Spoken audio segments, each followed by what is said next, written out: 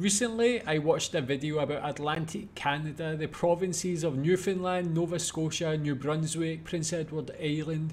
It was fascinating. It's a region I relate to, being from the other side of the Atlantic in Scotland. Seeing some of the landscapes that really remind me of Scotland. It's just a beautiful place, but one thing that I do know about it is it's relatively less populated compared to the other big cities and other provinces in Canada. So I seen this video, I wanted to watch it and learn more. It's called No Major Cities, Why So Few Canadians Live on the East Coast. So again, you can tell me in your opinion why you think so few Canadians live on the East Coast. Uh, but yeah, I guess this video will answer those questions, so or that question. So let's watch this and we can find out. York, Boston, Philadelphia, Washington D.C., and Miami are home to tens of millions of Americans. That's and all exist on the Atlantic coast of the United States. Actually, yeah, I never really just considered that when I was thinking about it. When you compare the the east side or the Atlantic Ocean side of the USA, which is so heavily populated, these these cities, and compare it to Canada, it's actually interesting that there's such a huge disparity, huge difference. Let's find out why, I guess. But if we look just to the north, Canada's largest metro regions are mostly inland well away from the ocean. So why doesn't Canada have a major city on their east coast? Yeah, I guess these. I guess those still got the access to the river that goes Hello, by. welcome to Geography by Toronto, Geoff. Montreal. As North America was settled by Europeans, most of the original colonies were on the east coast, which makes sense given its physical proximity to Europe. But while this led to many of America's largest cities being on its east coast, the same story has not played out for Canada. And there's a geographic reason for this. But first, if you're a fan of me, consider supporting me on Substack. Paid subscribers get even more geography every week, special callouts, ad-free podcast episodes, and these special perks. So if you want to engage with me even more, Substack is the place. And I will see you there. Before we get to why Canada doesn't have a major East Coast population center, we should first explore just a little bit how Canada was colonized grew, and expanded through the decades. Long before Europeans set foot on North America, of course, Canada was home to a wide array of indigenous peoples with rich cultures, traditions, and trade networks. But because this is about the Canada of today, let's go ahead and jump to when Europeans first landed on the continent. In terms of European exploration, modern day Canada is believed to be the first region Europeans would explore. Around the year 1000, an expedition by Norwegian explorer Leif Erikson would establish a short lived settlement named Vinland thought to be located in present-day Newfoundland. However, it was not until the late 1400s that a more sustained exploration and settlement would begin. In 1497, under the patronage of England's King Henry VII, explorer John Cabot would set sail for the Americas where he's believed to have made landfall on the island of Newfoundland. His expeditions demonstrated the abundance of fish, setting the stage for lucrative fishing grounds that would attract future European explorers and settlers. But while England would kick off the current exploration of modern day Canada, it would be France who would actually settle the region first. France entered the scene in the 1500s when Jacques Cartier was tasked by King Francis I to find a direct maritime route to Asia. Between 1534 and 1542, Cartier made three voyages, and he would eventually explore the Gulf of St. Lawrence and claim the land for France, naming the territory kanata, derived from the Iroquoian word Canada, meaning village. The French would be the first to establish a permanent European settlement with the founding of Quebec City by Samuel de Champlain in 1608. Champlain's establishment became the foothold for France in the Americas, and he is often called the father of New France. The early French settlers forged alliances with multiple indigenous tribes, primarily to establish fur trade networks. Due to competing interests in North America, the 1600s and 1700s saw frequent wars between England and France. In 1610, the British established their first permanent settlement called Cuper's Cove, today known as the town of Cupids on the island of Newfoundland. The British and French colonies coexisted, but with increasing animosity and frequent skirmishes. A culmination of global British-French tensions would lead to the Seven Years' War between 1756 and 1763, more locally known as the French and Indian Wars in the colonies, which ended in British victory. The 1763 Treaty of Paris led to Britain gaining control of almost all French territories in North America, marking the end of New France.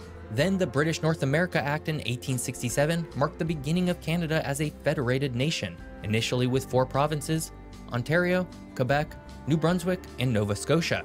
The westward expansion of the Canadian Pacific Railway brought promise and opportunity, leading to the inclusion of other provinces and territories into the Confederation. Canada's settlement began on its east coast much in the same way the United States did. But where many of America's first cities became some of its largest population centers, Canada's did not. But before we get to why Canada's largest cities are not on its east coast, if you're enjoying this video, hit that subscribe button. More fun geography videos are just a single click away.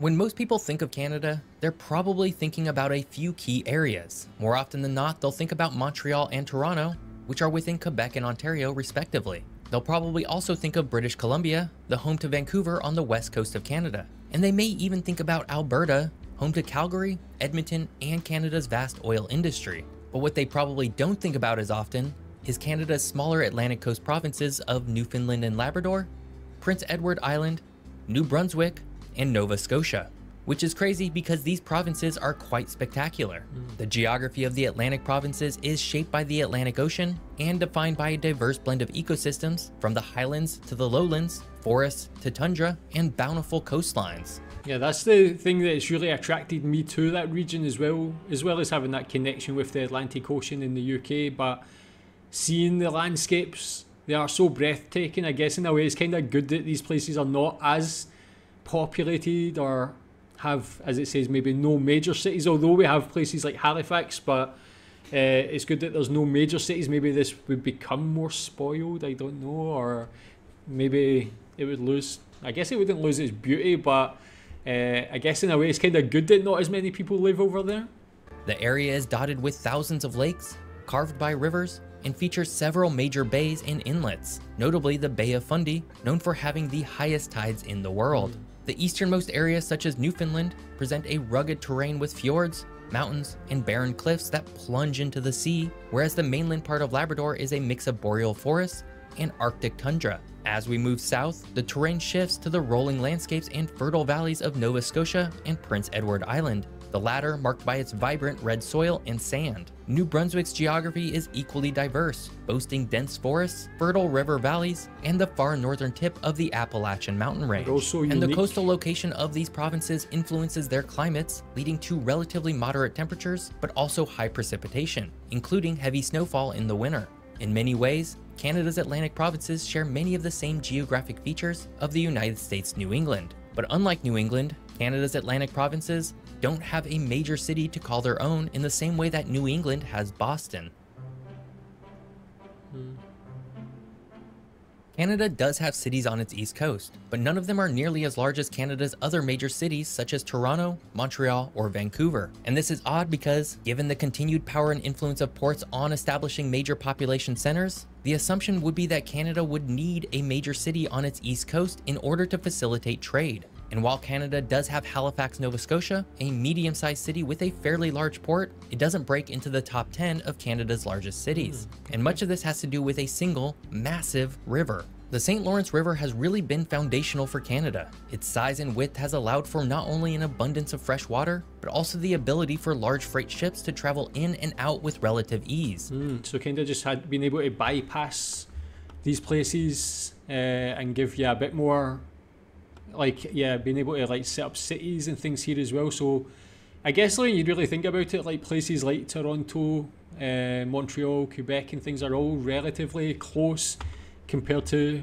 like Newfoundland and places like that as well. And perhaps most important is that the river connects directly to the Great Lakes, allowing for transportation directly in and out without the need for a land crossing. In many ways, the St. Lawrence River is to Canada as the Mississippi River is to the United States. So it's not surprising that Canada's oldest city, Quebec City, exists at the mouth of the St. Lawrence. As the French were looking for a route to Asia, the St. Lawrence's sheer size would inevitably lead them to believe that it could go quite a ways inland and maybe even to the Pacific Ocean. Now given its size, the St. Lawrence River made transportation relatively easy in a country that is otherwise pretty rugged and cold. This really enabled many of Canada's largest cities to grow in ways they otherwise would not have. Canada's largest city, Toronto, exists in what would be called Canada's Golden Horseshoe, named in part because it has an abundance of fertile agricultural lands, combined with an incredible amount of fresh water. But while agriculture was and still is very valuable, shipping it could be quite expensive. And it's for this reason that we see major cities appear along the St. Lawrence River or even on a tributary river such as Ottawa, rather than the East Coast. It's far cheaper to transport things by water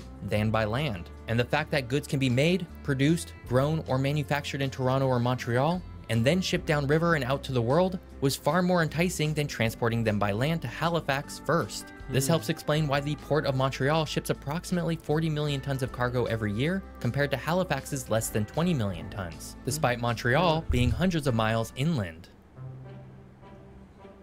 That river is really so beneficial. As I've already mentioned in this video, Canada's Atlantic provinces do have a lot of Canadians living within them, and they do have plenty of cities dotting the east coast of the country. While these four provinces might not have as many people as Toronto, they still combine to create an incredibly important region for Canada as a whole. Canada's Atlantic provinces are led by Nova Scotia with about 1 million people in total. This would be followed by New Brunswick with 775,000 people, Newfoundland and Labrador with 510,000 people, and finally Prince Edward Island with 154,000 people. Notably, however, while Prince Edward Island has the fewest people of any full province in Canada, it's also the province with the highest population density due to its area size. Oh, Canada's other okay. provinces all just happen to be really large, hmm. and this region would be led by the city of Halifax, Nova Scotia, with about 465,000 people within its metro region. This would be about one tenth the size of Montreal, Quebec, which has about 4.2 million people. Following Halifax would be St. John's in Newfoundland and Labrador with 212,000 people.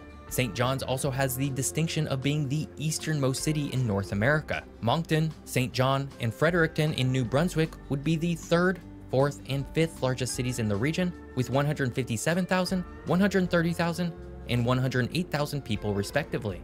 Prince Edward Island's largest city would be Charlottetown with about 79,000 people.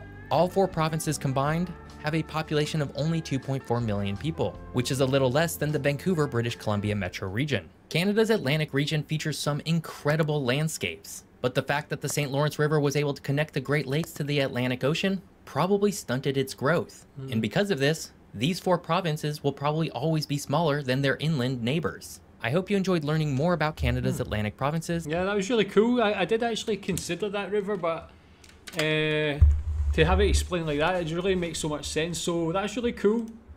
Again, I guess maybe people on the East Coast are kind of thankful for that river. The, the places they live are not so populated at the moment. Like when you see places like Halifax and uh, these other places, these other cities, and just the provinces in general.